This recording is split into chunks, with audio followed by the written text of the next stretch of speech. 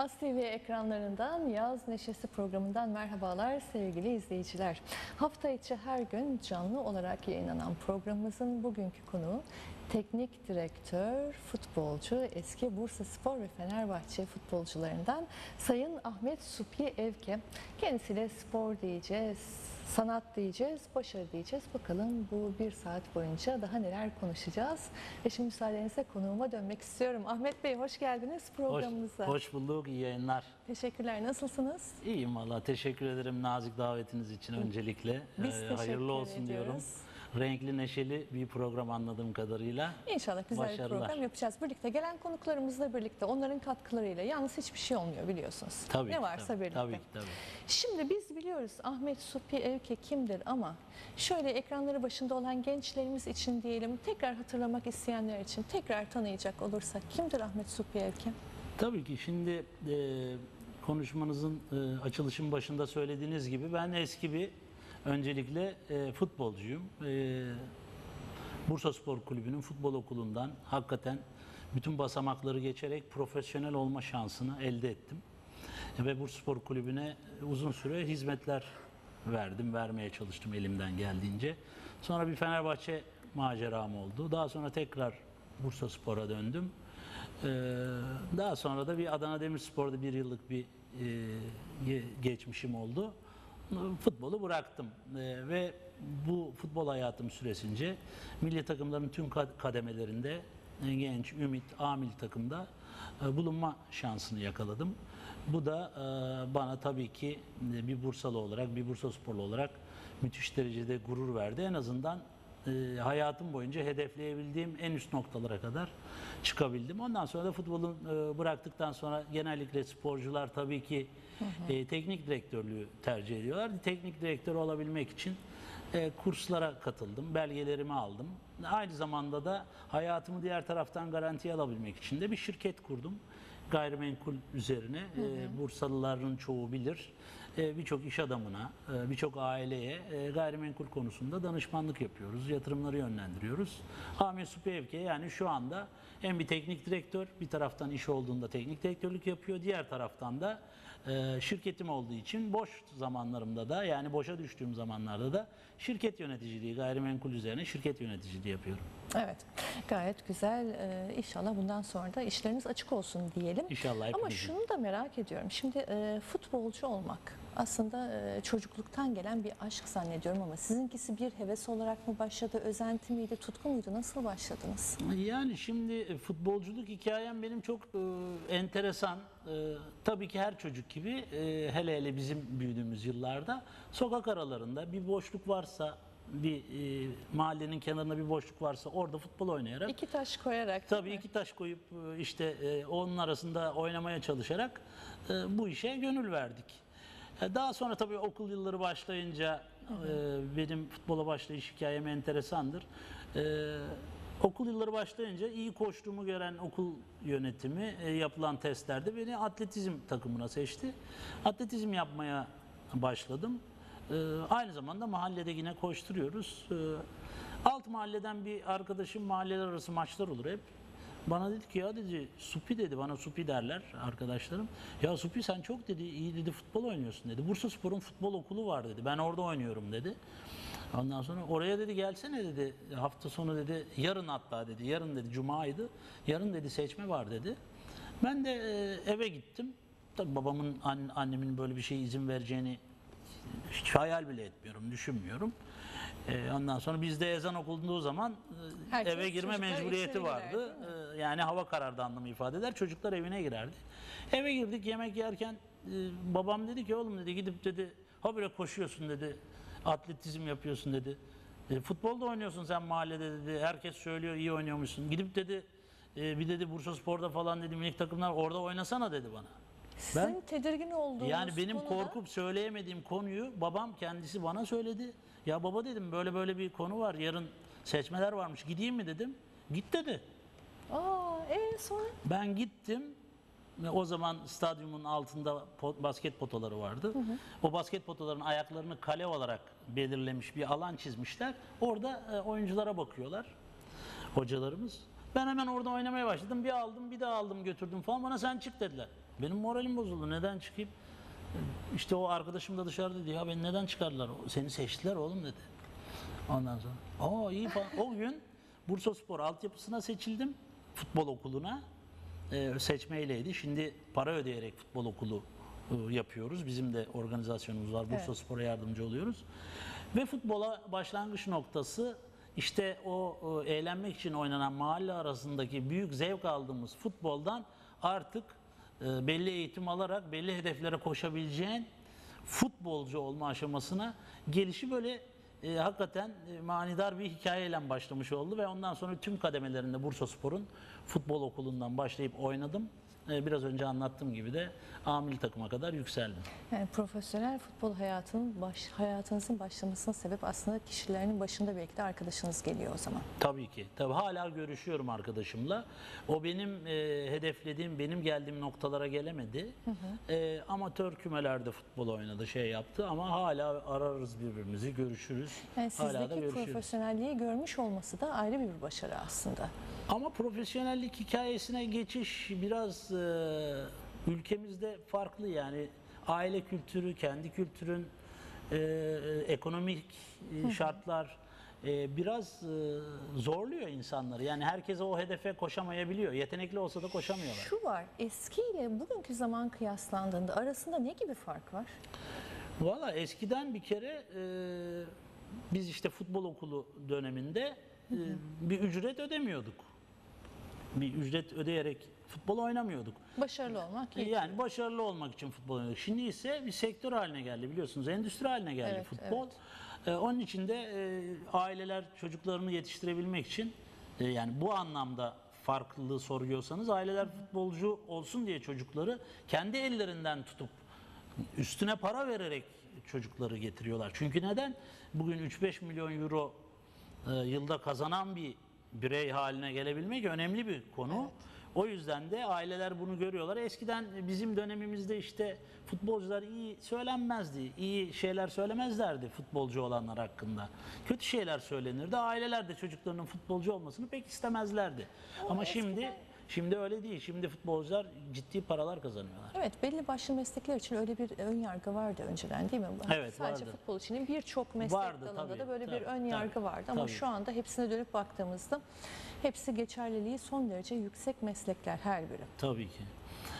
Yani e, futbolcu olmanın e, geçmişten günümüze farklılığını soracak olursanız benim e, dikkatimi çeken en büyük farklılık bu altyapılardan başlayıp devamında gelen e, bu fark yani insanların çok fazla istemesi. Her e, aile e, bir çocuğu varsa ki şimdi kızları bile getirmeye başladılar. E, futbolcu olmasını istiyorlar. E tabii o endüstri seni çekiyor. Medyada işte televizyonu açtığınızda sabahtan akşama kadar futbol konuşuluyor. Evet, bir de şöyle bir e, şey de vardır. Çok basit bir cümledir belki ama işte para kazanacaksa ya topçu olsun ya popçu, Topçu olsun tabii tabii. Böyle bir şey de vardı. son son sanıyorum 20 yılın Evet. şeyi hikayesi bu topçu popçu. çok basit bir Evet. cümledir. Ee, başarılarınıza gelecek olursak şöyle bir e, program öncesinde az çok sizinle ilgili bilgi e, topladığım zaman şu kanıya da vardım naçizane. Ee, başarılı bir kişi olabilmek için eşin desteği çok önemli. Eşle birlikte aynı doğrultuda olmak çok önemli. Çok güzel bir evliliğiniz var. Allah daim ettirsin inşallah. Teşekkür ederim. Ee, eşiniz de çünkü bir basketbol evet. e, oyuncusuydu. Evet. Ee, şu anda yine aynı zamanda e, Şu anda da oynuyor. Hala oynuyor, oynuyor. Hala oynuyor. Ee, biraz eşinizden aldığınız destekten bahsedelim. Yani e, başarılı bir adam olmak. Hani derler ya her başarılı adamın arkasında bir kadın vardır. Tabii Biraz ki. bunu açalım. Tabii ki çok önemli, çok iyi bir konu aslında. Ee, benim e, babam eski e, Fenerbahçe'de oynamış bir futbolcuydu Allah rahmet eylesin. Evet, Allah rahmet yani onlar daha çok amatör seviyelerde oynamışlardı. Fakat eşimin babası Türkiye'nin çok tanınan, çok ünlü bir futbolcusu. Ee, Vahit diye e, herkes bilir ve Dundee United'da attığı golle anılır Avrupa kupalarında. Ee, yani o yıl, yılları yaşayanlar hakikaten unutulamayacak bir şeydir, anıdır o. Onu bilirler. Eşimin babasının futbolcu, profesyonel, üst düzey bir futbolcu olması tabii benim için Çok önemli bir şanstı. E, eşimin kendisinin sporcu olması, bir sporcunun nasıl az çok, yani yaşı benden küçük de olsa bir sporcunun ne yapması gerektiğini, nasıl yaşaması gerektiğini bilmesi, evlilikte bizim e, önümüzü gerçekten çok açtı. Yani bana nasıl davranması gerektiğini, e, ne yapması gerektiğini gerek babasından gerek kendi yaşantısından o kadar iyi biliyordu ki e, beni oynadığım profesyonel yaşam süresince sosyal ve sportif anlamda müthiş derecede arkamda durdu, destekledi ve bu yüzden de ben belki çok büyük önemli kabiliyetlere sahip olmasam da benim çok iyi e, çalışmamı sağladı. O olanakları istirahat etmem, çalışmam, Çok önemli değil mi? beslenmem, En önemlisi belki. olaylara bakmam, psikolojim bozuluyor. Birisinde sohbet etmeye ihtiyacım var. Ee, yani kimle sohbet edeceksin? Biraz bu tip birisi yanında varsa, eş olarak ele varsa bu çok büyük avantaj. Çok büyük bir dayanak Çok olmuş büyük bir size. çok büyük Destek bir olmuş, destek, evet. çok önemli bir destek. Ee, yani benim e, üst düzey profesyonel futbolcu olabilmemde gerçekten eşimin ciddi payı var yani. Ee, ve e, ona sonsuz teşekkür ediyorum. Her zaman da hala Allah hepimize sağlık versin. Gayet iyi şu anda da birbirimizi destekleyerek devam ediyoruz. Hatta çocuğumuz İnşallah o da futbolcu oldu. de, O da e, futbolcu oldu. Profesyonel ağırlarız. futbolcu. Hatta ona da işte e, elimizden geldiğince destek oluyoruz. Destek vermeye devam ediyoruz. Ama tabii ki e, e, üst düzeyde kalabilmek için daha çok oynamak değil de o seviyelerde devamlı kalabilmek için ve yaşamının kalan bölümünde de aynı e, huzuru devam ettirebilmen için tabii ki e, aile desteği çok önemli. E, ben tabii ki o yıllarda eşim ben profesyonel futbol oynadığım için o basketbolu bırakmak zorunda kaldı. Ee, e, sizinle sohbet ettik. Hani içinde uhde var mı diye sordunuz. Tabii onun içinde hep bir uhde kaldı. Ama şu anda e, basketbol e, Bursa'daki e, Bursa Spor takımı e, ona koordinatör gibi yani siz masterları koordine edin oynayın diye bir şey verdi misyon yükledi o da organizasyonlar yapıp her yere gidiyorlar basket oynuyorlar İtalya'ya gidiyorlar İspanya'ya gidiyorlar her tarafı Yunanistan'a gidiyorlar Bir gün programımızda onu da konuk Tabii edelim. tabii Mutlaka Antalya'ya gidiyorlar. Şey yani vardı. o uhde, o içinde kalan uhdeyi şimdi işte e, bu, e, bu seviyeye geldikten sonra sağlığı da iyi. e, oynuyorlar, iyi eğleniyorlar, iyi zaman geçiriyorlar. Ne güzel. Öyle yani. Şu var bir de e, işin bir de baş hani demin dediniz ya sosyal tarafı var. Çünkü e, ister istemez birçok sosyal ortamda, cemiyet ortamlarında da bulunuyorsunuz. Şimdi birdenbire e, şöhret olmanın getirmiş olduğu o kalabalık, bunu da hazmedebilen bir eş olmak bu da çok önemli değil mi? Sadece futbol camiası açısından değerlendirmiyorum bunu.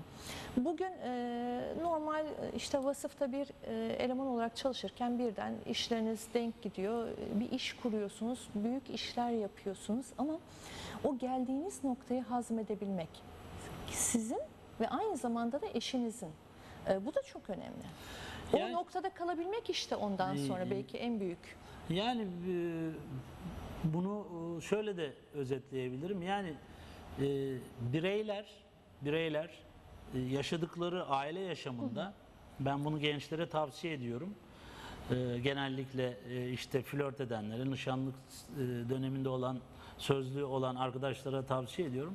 E, bence e, sağlıklı bir ilişki kurabilmek, e, kendi bulunduğun pozisyonunu koruyabilmek, şöhretini koruyabilmek için e, hayatta çok önemli e, üç tane unsur var. Bir tanesi o şöhretli adam kimse ya da bayansa, belki bayan şöhretli, e, e, erkek e, evde o kadar şey değil, e, normal bir işi var, böyle de olabiliyor. Evet. E, bir kere e, erkeğin ya da bayının bireysel bir yaşamı var. Yani benim erkek olarak bir yaşamım var. Sadece benim. Eşimin de bayan olarak bir yaşamı var. Onun arkadaşları, onun hoşlandığı, zevk aldığı konular farklı, benimkiler farklı. Ama bizim, üçüncüsü ise bizim birlikte zaman geçirmekten zevk aldığımız arkadaşlarımızla ya da yalnız tatile gitmek, işte beraber yemeğe çıkmak, kahve içmek neyse. Bu üç tane ayrı yaşamı birlikte götüremiyorsanız mutsuz oluyorsunuz zaten. Yani ben ve biz olgusu var. Evet, ben ve biz olgusunu doğru yönetemiyorsanız e, çok da mutlu olamıyorsunuz. Birbirinizden sıkılmaya başlıyorsunuz. Yani e, biraz amiyane olacak böyle bıcık bıcık devamlı karı koca vır vır vır hep beraberseniz Her şeyi hep birlikte yani yapalım. o o insanı e, belli bir süre sonra sıkıyor. Ben 31 yıllık evliyim yani. Hatta e, bir dostumuz var devamlı çıktığımız restoran, pub e, var. E, 35 yıldır aynı yere gidiyoruz. Çünkü evlilikten önce de biz birlikteydik eşimle. E, ara sıra o gelir bize takılır. Der ki ya arkadaş oturuyorsunuz, konuşuyorsunuz, konuşuyorsunuz. Ne 35 buluyorsunuz? yıldır ne konuşuyorsunuz siz? Hani kimse de gelmiyor yanınıza. Ne anlatıyorsunuz Ne der. konuşuyorsunuz? Ne anlatıyorsunuz der. Ya güncel konular. Şimdi eşimin sporcu olması benim sporla alakalı spekülasyonların içinde olmam. İşte televizyonudur, işte bir, bir yerde iş bulma konusuyla alakalı ya da o an te- teknik adam olarak bir yerde çalışıyorsanız o konularla alakalı muhakkak bir şeyler oluyor. Yani o kadar hızlı gelişen bir gün e, güncel bir konu ki futbol. E, futbolu da bildiği için, sporcu olduğu için benim söylediklerimi anlıyor, o kendi fikirlerini koyuyor. E, öbür taraftan birlikte iş yapıyoruz. Gayrimenkul şirketimiz var. İş bölümü yapmışız o işte konutlara şeylere bakıyor. Ben arazilere bakıyorum. Bir taraftan aile hayatı, Bir taraftan aile hayatı, bir taraftan çocuk, bir taraf gündem devam değişiyor aslında. Hani biz tamam 35 yıldır muhabbet ediyoruz da hep aynı şey Hep konuşmuyoruz. aynı ki. noktada değiliz değil mi? Hayatımız o kadar hareketli ki e, muhakkak bir konu çıkıyor yani. Her akşam başka bir konu çıkıyor diyebilirim. O yüzden de böyle sohbetlerimiz uzun sürüyor. Evet Allah daim ettirsin Amin. inşallah. Sağ olun, teşekkür ederim. Diyelim. Bu arada arkadaşlarımız eğer fotoğraflar hazırsa fotoğrafları da isteyelim. Çok güzel fotoğraflarınız vardı. Evet. Doğa fotoğrafları dahil olmak üzere. Evet. Biraz hobileriniz diyelim mi? Tabii Hobiler ki. insana neler katar? Birazdan da bunlardan bahsedelim. Ya bence yani benim kendi hayat felsefeme göre e, hobisi olmayan bir insanın hayattan çok büyük tad alacağını düşünmüyorum açıkça. Yani hayatını renklendirmek istiyorsan, farklılaştırmak istiyorsan, kendince bu hayattan hakikaten e, zevk almak istiyorsan farklı hobilerin olmasında bence çok büyük fayda var. Hem insana kültürel olarak çok farklı şeyler katıyor, ee, hem çevresini sosyal anlamda müthiş derecede renklendiriyor, geliştiriyor. Ee, zevk alıyorum ne bileyim yani çok farklı. Bir de ben şöyle insanları mutlu etmekten zevk alıyorum. Şimdi sizin bir fotoğrafınızı çekeyim. Ee, farklı açılardan şeyden. Ee, siz de bana deyin ki ya e, Supi ne kadar güzel fotoğraflar çekiyorsun. Ya O ben size ben yetiyor, şimdiye değil kadar mi? e, hiç böyle fotoğraf e, fotoğrafım olmadı. Çok teşekkür ediyorum dedi mi? Ben ondan büyük bir mutluluk duyuyorum. Ee, yani karşımdakini mutlu etmekten büyük haz alıyorum. Böyle bir yapım var. Yani bunu bir karşılık bekleyerek de değil. İşte e, farklı hobilerim var. Size söyledim birkaç tane de resim Evet. hatta şey yaptım arkadaşlar e, gösteriyorlarsa bilemiyorum şimdi. E, bir sürü hobim var. Ben e, hadi sporu hobi olarak saymayalım. Tenis Benim en oynuyorum. ilgimi çeken taşlardı. Ben- Sanat tarafıydı. yani tenis oynuyorum, golf oynuyorum, dalıyorum, avcılık şeyim var. Ama e, bir de e, onu da şöyle başladım ona da. E, eşim bir sigara kutusunu çok beğendi. Sigara Bu arada kutusu- yine belirtelim sigaranın sağlığa zararlı. Tabii sağlığa, sağlığa zararlı tabii. Tabii onu da altını muhakkak, muhakkak çizelim. bilir. Kutuyu beğendi. Sigarayı sigaranın reklamını yapmak için onu beğenmedi. Bir kutu onu çok beğendi. Ee, ben onu getirttirdim. Getirttirdiğim kutu istediğim ebatlarda, istediğim standartta değildi. Ondan sonra o kutuya şöyle baktım. Ben bu kutudan yapacağım dedim. Bir de öyle bir e, karakteristik özelliğim vardır. Bir şeyi başarmadan kesinlikle bırakmam. En üst noktasına çıkmak için tüm eğitimleri, her şeyi yaparım. Hepsini yaparım. Hepsini denerim. Bıkmam, usanmam, ısrarla denerim. Başarana kadar. Başarana kadar onu denerim ve ölene kadar da bunu başarmak için deneyeceğim. Hala yapıyorum aynı şeyi. Baktım kutuya, ya bu kutuyu yaparım hatta bundan daha iyisini yaparım dedim. Hemen onun nelerden üretildiğini birkaç araştırma yaparak gidip bir iki arkadaştan eğitim alarak bu nasıl yapılıyor, neyle yapışıyor, nereden bulunuyor, nasıl oluyor onlardan hemen tarif aldım. Hemen önce malzeme organizasyonunu yaptım. Neydi onlar? Taşlar. Taş, taş, kutu, işte Swarovski'ler, e, öbür normal taşlar, cam yani bunlar, renkli camlar. Onları aldım, bir yaptım, biraz iyi yapamadım, bir daha yaptım, bir daha yaptım derken hakikaten bir profesyonel gibi yapmaya başladım. E, yaptığım ürünleri de biraz önce size söylediğim gibi işte birisine hediye edip onu mutlu etmek, e, onun e, işte mutlu olmasını sağlamak. E, eşimi de eşime de çeşitli renklerde yapıyorum. O da kıyafetine göre yanında taşıyor falan. Değil mi? O da kim yaptı diye sorduğunda Ahmet yaptı diyor. Ahmet yaptı deyince millet diyor ya sen mi yaptın hakikaten falan inanamıyorlar. Evet ben yaptım diyorum ya. Kadınların ya illa bana da yapar mısın bir tane? Tabii arka arkaya siparişler geliyor. bu Tabii sefer. böyle siparişler geliyor. Hatta bir e, ar- e, alışveriş merkezinde kutuyu gösterdi eşim. E, bak dedi Ahmet yaptı dedi. E, para teklif etti adam. Bundan bana yaparsan ciddi yüksek bir para teklif etti. İyiymiş, Bundan bence yaparsan yaparsanız yani benim elimde çok altın bilezik var diyebilirim. İnşallah Evet, aç evet. kalmam. Aman, aman, Elim Allah ayağım korusun. tuttuğu müddetçe çeşitli hobilerim olduğunda o hobilerimi paraya çevirme imk- imkanına da sahip olduğumu görmüş oldum yani. Şimdi çok güzel bir noktaya değindiniz aslında. Hani program öncesinde bunu konuşmadık ama benim elimde e, çok altın bileziğim var. İşte aç kalmam. Çok önemli değil mi? Özellikle şimdiki zamanda çocukların çünkü bir almış oldukları eğitim akabinde üniversite sınavına giriyorlar. Başarılı oluyorlarsa ne hala olamıyorlarsa tekrar tekrar bir bakıyorsunuz ki hiç istemediği bir üniversite okumuş vesaire.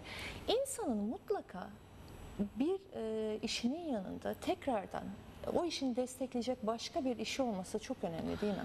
Ya şimdi Yani bir e, becerisi, bir yeteneği, bir hobisi en azından. bakın şimdi e, bunu B tabii planı, ki C yaş- planı diyelim. yaşı yaşı belli bir seviyede olan insanlar çok iyi bilirler. Eski insanlar e, çocuklarını yetiştirirken farklı me- meslek gruplarında çıraklığa verirlerdi. Ne kadar Mahallelerde, paranız değil olursa olsun. Evet. Ee, yani o konuda biraz olsun bilgi sahibi olmanız için sizi çırak olaraksa ben mesela ben mendil sattım çocukken. Benim babam kuyumcuydu. Allah'a şükür. İhtiyaçtan dolayı Bursa'nın Bursa'nın evet herkes biliyor. Evki ailesi olarak bilinen ailelerinden bir tanesiyiz. Ama hayat öyle değil. Siz sadece çocuğu ben bu çocuğu okula yollayacağım. Akademik kariyerini bitirecek, master yapacak, Avrupa'ya yollayacak, İngilizce öğrenecek. Hayat bu değil. Gerçekten bu değil. Çünkü yani sürprizler çok Tabii çabuk ki yani farklı konularda kendini geliştirmezsen, farklı e, konuları öğrenemezsen, o konuları bilemezsen yarın öbür gün e, yapmak istediğin işi yapamadığın anda çıplak hissediyorsun kendini ve yalnız hissediyorsun. O yüzden de hayata tutunmak için farklı özelliklerin olması, farklı konularda bilgi sahibi olman şey yapıyor. E, Allah rahmet eylesin babamız bizi işte e, bize bir sermaye verirdi. Biz işte e, bayramlarda mendil satardık. E, karını alırdık. O sermayeyi babamıza geri verirdik. Öyle mi? Sermaye ödenir. Tabii geliyor. sermaye geri ödenir. O e, yani Borç. aldığın borç. Onu alıyorsun, karını bayram harçlığı yapıyorsun kendine, geri kalanını aile, aile babana teslim ediyorsun. Yani biz e, ticarete ve hayata böyle başladık. E, ve onun için de ben hep mesela o bana büyük şey vermiştir. E, Hayatta büyük bir güven vermiştir, özgüven vermiştir. O yaşta bir adamın bir şeyler satıp o parayı geriye Ben ödemesi, kar etmesi kazanabiliyorum, başarabiliyorum demek ki. yeterli yani zaten. e, ticaretten bir şeyleri başarmanın şeyini e, babamız bize o zaman çok küçük yaşlarda öğretti. Hala bakın o, o özgüvenle de yaşıyorum yani. O bana bir hayatta bir güven verdi, bir destek Bunu verdi. istediğiniz kadar üniversite okuyun. İstediğiniz kadar en yüksek okulları okuyun. Oralarda zaten öğrenmeniz mümkün değil. Tabii. Çocuk yaşta Yani hayat dersleri Hayat, bunlar. değil mi? Hayatı ne yazık ki işte, Yaşayarak e, işte. hakikaten mücadele ederek öğreniyorsunuz. Yani kitaplar muhakkak hayatla hikayeli bir sürü hikayeler var. Muhakkak çok kitap okumak lazım. Gelişmek için çok önemli şeyler. Ama yaşanmışlıkların hiçbir zaman için hiçbir en güzel kitap dahi yaşanmışlıkların hiçbir zaman önüne en geçemez. büyük eğitmen hayat işte. Tabii. Evet peki e, çok merak ettiğim sorulardan biri. İnsanlar sizin hayatınızı en çok neyi merak ediyorlar? Yani insanlar size en çok neyi soruyorlar? Yani şimdi tabii siz daha çok e, burada yani bilmiyorum benim e, sporcuların dışında konuklarınız oluyor sanıyorum ama bizim hayatımızda genellikle e, insanlar ne olacak şu takımın hali ne olacak bu takımın hali diye her karşılaştığımız insan Fenerbahçe'yi tutuyorsa işte ben eskide Fe- Fenerbahçe'de oynadım. Ya hocam ne olacak bu Fenerbahçe'nin hali? İşte şunu aldılar bunu yolladılar. O hoca böyle şu şöyle. Ne düşünüyorsun? Oradan başka yere geçiyorum. Bursa Spor'u tutan bir arkadaşımızdan kaçıp ya hocam ne olacak bu Bursa Spor'un hali? Ya genellikle benim hayatımda eğer e, bir e, kazanma şeyi yoksa yani ticaretim şu anda gayrimenkul sektörüyle alakalı bir konuya ihtiyacı yoksa birisinin bana genellikle takımlar hakkında ne olacak bu takımın Fikriniz. hali diye fikrimi soruyorlar. Oyuncuları, hocasını, işte başkanını için ne düşündüğümü falan. Genellikle bizim hayatımızın yani inanın bana buraya gelene kadar karşılaştığım 10 insandan 9 tanesi futbolla alakalı şey sordu. Ben her gün ve her gün bıkmadan, usanmadan hiçbir saygısızlık yapmadan insanlara Ne kadar bu şekilde cevap veriyorum. Affedersiniz yani gündem neyse akşama kadar papağan gibi o gündemi tekrar tekrar onlara kendi e, şeyim düşüncelerim doğrultusunda kendi yorumumu katarak söylüyorum. E tanınan insanların da böyle bir şeyi var. Yani bunu da İster biz istemez üstlendiğimiz artık, bir evet, misyon. Bir misyon değil mi? Yani bunu biz insanlara söylemek zorundayız. Hiç de gocunmam yani kaç kişi ne soruyorsa e, elimden geldiğince zamanım varsa cevap veririm. Bu e, aynı zamanda şöhreti sindirebilmekle de doğru orantılı diye zannediyorum. Çünkü sindirmek, hazmetmek bu ayrı bir şey. Hep dediniz ya işte geldiğiniz noktada kalabilmek. Belki en büyük püf noktalarından birisi de bu.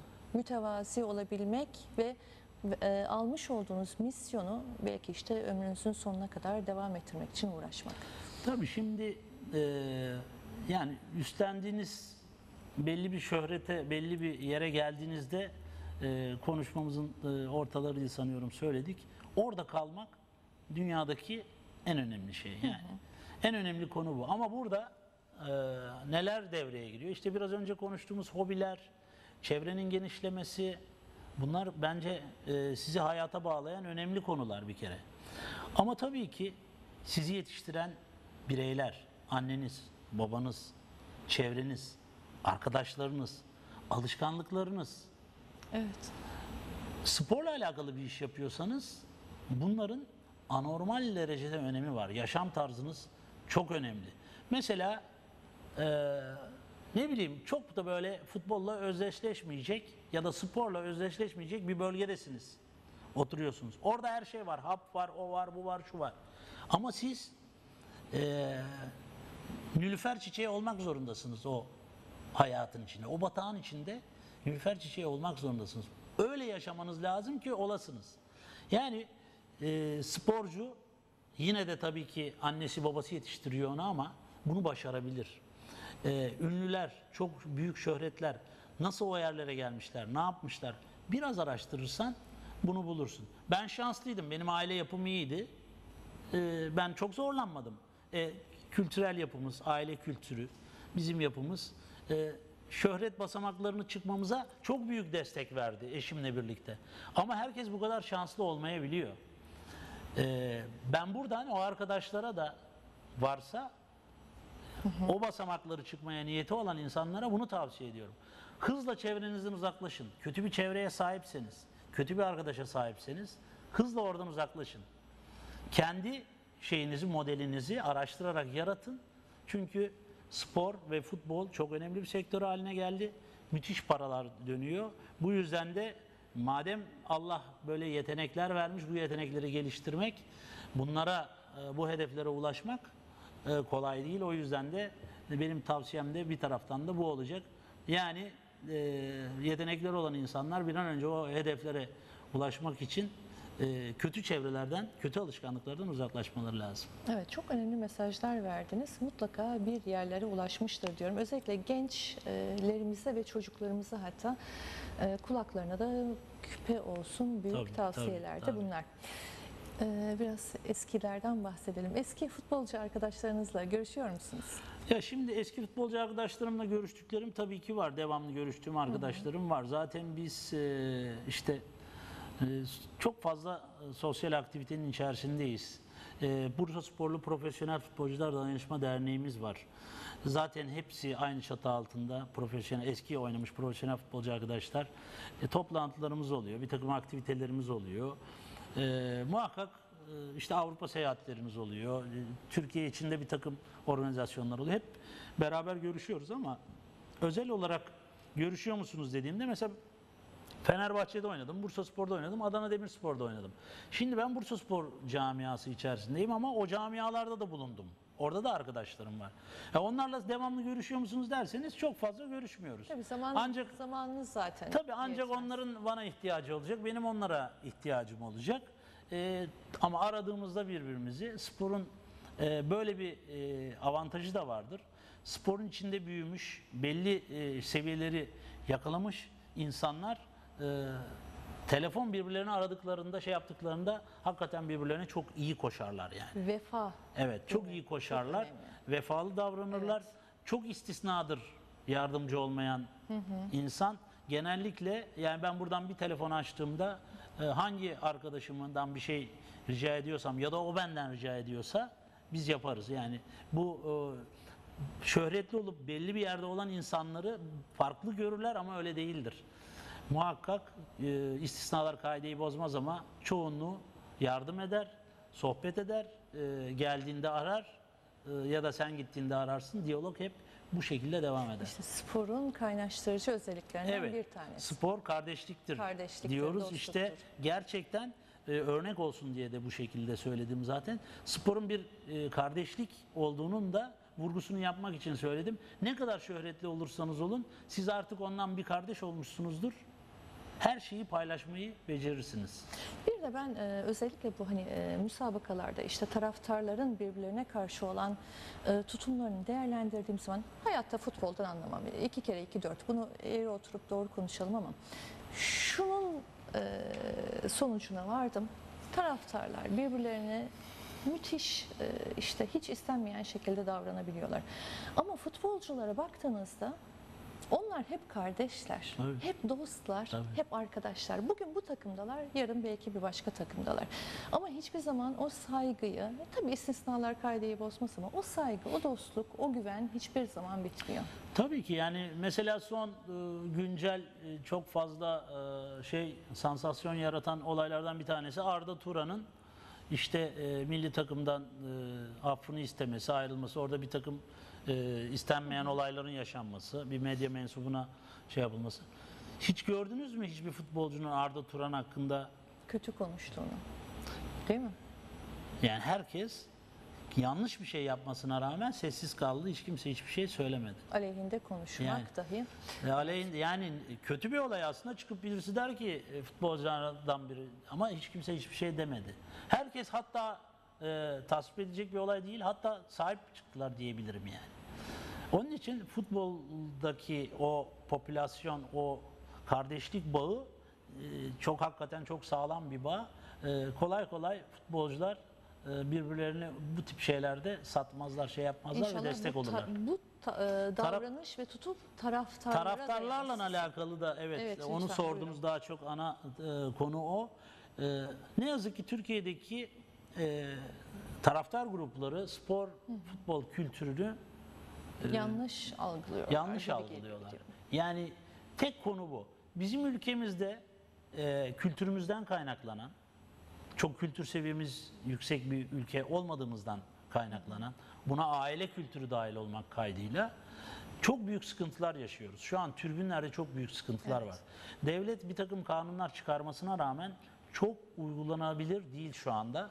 Uygulamaya gayret ediyorlar. Bu sene e, son e, sa- sanıyorum Spor Bakanı'nın yaptığı şeyde artık e, bu uygulamanın tamamen devreye gireceği ve taraftarlar gerekli cezayı alacağı söylendi.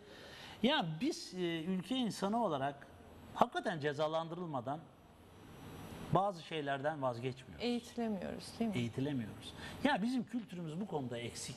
Hele spor kültürümüz zaten kültürümüz eksik de spor kültürümüz çok eksik yani. Ya zaten sporun amacı nedir? Özellikle futbolun amacı nedir? Dostluk, kardeşlik, bağdaştırma, Budur. pekiştirme, kaynaştırma. Budur mesela bu örnek vereceğim. Ee, İngiltere'de e, Premier Lig'de bir takım küme düşüyor.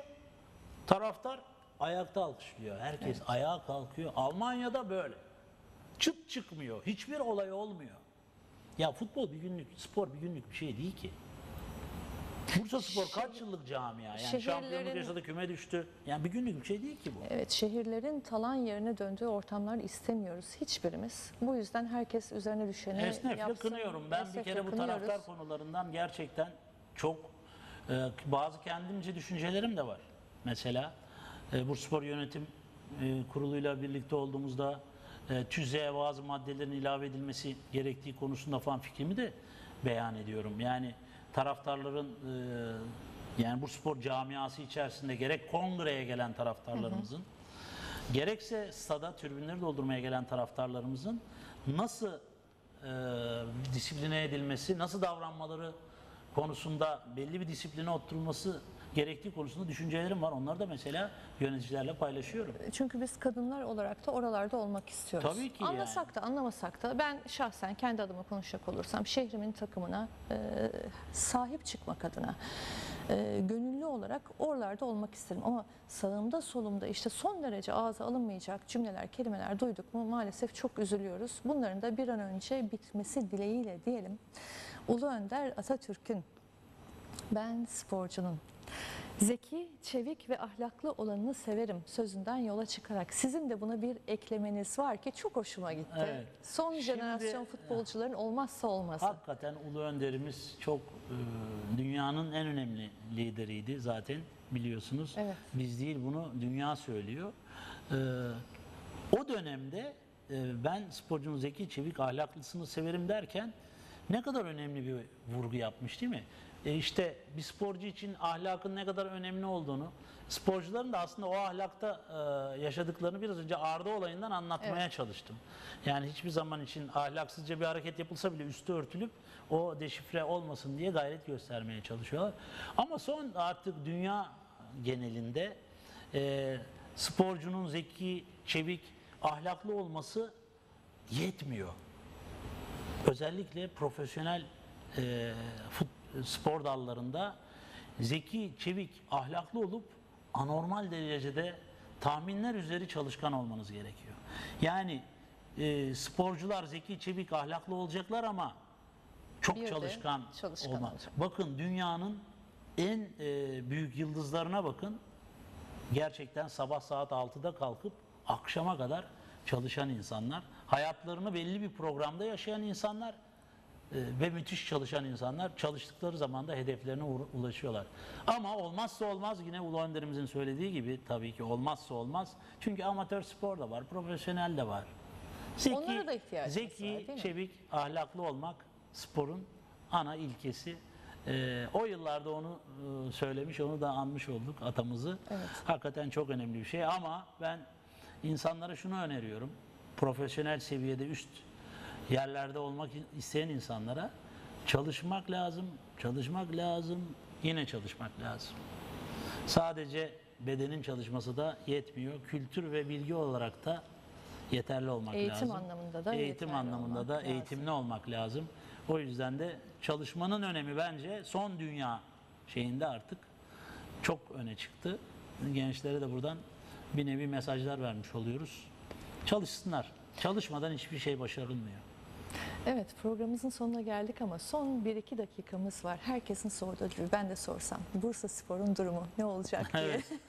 Şimdi e, Bursa, Ki burada Bursa Spor'la final yapalım. Bursa Spor'un in- e, Bursa'mızın incisi e, takımımıza Evet. başarılar diliyoruz. Her zaman her daim gönlümüz tabii ki Bursa Spor'da. Tabii geçen sezon bir kere yaşadığımız şeyler gerçekten e, bizi futbolun içinde yaşayan insanları gerçekten çok üzdü, çok yıprattı. Taraftarlarımızı öyle. Camiayı çok yıprattı. E, sanıyorum bundan e, önemli dersler çıkarıldı. E, baktığımızda işte belli bir markası olan, e, dünyada önemli takımları yönetmiş olan bir teknik direktörümüz geldi, transfer edildi. Bir takım ekonomik sıkıntılarımızın olduğu aşikar. Ee, onları görüyoruz. Biz futbol adamları olarak onları görüyoruz. Biliyor neler nelerle karşılaşacağımızı biliyoruz. Ben buradan e, insanlara mutsuz olmamaları için önümüzdeki yıl bunu teknik direktör de söyledi yeni gelen Laguen teknik direktörümüz Laguen de söyledi. Mutsuz olmamaları için çok büyük beklentiye bu yıl girmesinler. Takımımızın ekonomik durumu iyi değil. Şu anda futbolcu kadrosunda çok önemli bir revizyon yapılamadı. Çok önemli paralar verebilecek durumda değiliz çünkü. Ama ben insanlara teselli olsun diye işte hep sokakta e, karşılaştığımız, sağda solda karşılaşmış arkadaşlara söylüyorum. Soru cevap şeklinde giriyorum onlara. Diyorum ki biz şampiyon olduğumuz yılı hatırlıyor musunuz diye soruyorum. Hatırlıyoruz diyorlar. Hiç kimseyi transfer etmemiştik diyorum. Paramız da yoktu. Ama devre arası 50 bin dolarlık bir transfer yaptık diyorum. Iglesias diye bir santrafor. Siz bil- bilmezsiniz ama e, dinleyenler biliyordu. 50 bin dolar yatırım yaparak Türkiye Süper Lig şampiyonu olduk diyorum. Her şeyde bir hayır vardır. Eğer doğru yönetim doğru hoca, doğru kadro planlaması öyle ya da böyle yapılabilirse hiçbir şey çok uzak Yani değil. Her şey olabilir. her an her şey olabilir. Ama ben gördüğüm kadro planlamasından, kadro yapısından, bugüne kadarki kadro yapısından baktığım, gördüğüm çok büyük beklentiye girmesin. Biz bu sene orta seviyelerde çok fazla sıkıntı yaşamadan Bursa sporumuzu geleceğiz, destekleyeceğiz, alkışlayacağız. Gönlümüz her Yanında zaman olacak. onunla onunla birlikte olacağız. Onun için de çok büyük hayal kırıklığı yaşamayacağız. Aa, daha üst seviyelere çıkarsa mutlu olacağız. Ama bilelim ki orada seviyeler bizim için, Bursa Spor için geçiş yılı olarak iyi seviyelerdir. Bursa Spor'a da buradan e, önümüzdeki sezon için başarılar, Başarılar dileyelim. diliyoruz. E, sonsuz başarılar dileyelim. İnşallah e, çok çok iyi seviyelerde futbolu izletirler en azından. İnşallah. Ben e, program konuğum olduğunuz için çok teşekkür ediyorum Sayın Ahmet Supi Evke. İnşallah ilerleyen zamanlarda tekrardan sizleri konuk etme şansımız Ben olur. de ben de çok teşekkür ederim. İyi yayınlar. Evet sevgili Yaz Neşesi programı izleyicilerim. Bugünkü program konuğum Sayın Teknik Direktör Ahmet Supi Evke'ydi. Kendisiyle güzel bir sohbet gerçekleştirdik. Yarın bir başka programda başka konuklarımla karşınızda olmak üzere. Hoşçakalın, sağlıkla, esenlikler.